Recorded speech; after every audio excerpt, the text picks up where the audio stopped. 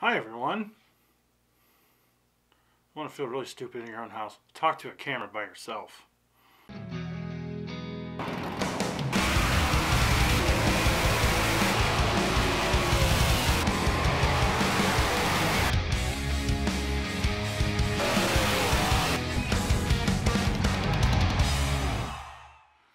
Hello everyone, welcome to another episode on the Dirt Nerds podcast channel. So you may be wondering, what's up? A little different look for uh, old Elliott in the Dirt Nerds studio. Just wanted to update you on what I want to do with this channel going forward. If you've noticed, some videos have come up uh, through the channel, more consistent for one, but also a little different type of video.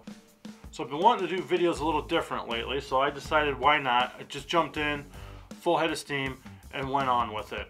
So if you notice from the other talking head videos I've done in the past, this one looks a little different already, right? I completely changed my studio around. If you saw the podcast videos that have already been posted, uh, clips from the podcast, full episodes of podcast, whatever, um, we changed how we do things a little bit. So me and Duane actually used to sit across the room from each other to do the podcast, which was okay.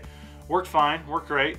Um, I decided to change it up a little bit to make a little more compact setup to do some video type of work. So with that, I moved my whole office around bought a couple extra pieces of furniture, invested in some lighting, uh, some other stuff for audio purposes to kind of help enhance things.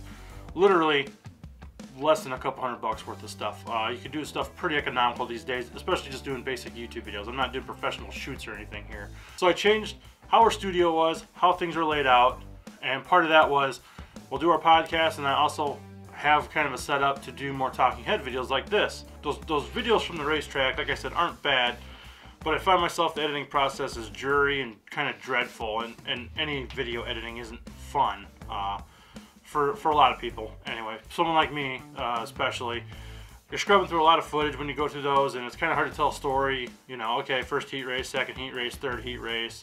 So the, the at the track videos aren't bad, but still just kind of same thing, right? It's kind of hygienic material. But I do want to do more talking head videos, kind of like this, do race reviews, you know, kind of talking about things going on in racing here and there, kind of four, or five, ten minute videos uh, that, you know, kind of update on things. Obviously, we have the podcast. We're always going to be talking about our thoughts and things going on on the podcast between me and Duane. I want to do some, some other types of videos even too. So anyway, the whole office move and reorganization is geared towards doing more video type of stuff. I think we're going to live stream the podcast eventually.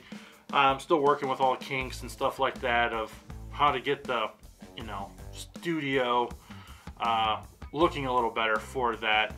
So I just wanted to drop a quick update to everyone. I want to grow this channel. I want to do more. Like I said, I just want to do some things a little different. Stay tuned. More will be coming uh, throughout the, you know, season here. It's 2021 we got 2020 out of the way, but 2021 ain't looking much better, to be honest. it actually is looking better. Uh, racing should happen on time. You know, 2020 we had to race with some restrictions. We'll probably still have some restrictions, but we didn't get to start till June in our area. So looks like we'll be able to start on time at least. Maybe some of those restrictions still in place, but you know, if we got to do them to go racing, we're all more than happy to uh, to you know go through a couple little hoops to be able to go racing. So hopefully we'll have a successful 2021, and uh, yeah, you'll get to see more of my semi-beautiful, mm, well, uh, me and Duane always say we got faces made for radio, and I think that's more and more uh, true every time I see myself on camera. With that being said, thank you all for watching and tuning in. Subscribe to the channel, share the channel with anyone you know that likes racing. Like I said, hopefully we want to do some things a little different this year, uh, kind of change it up a bit. We appreciate you for listening and watching. We'll see you next time. Bye-bye.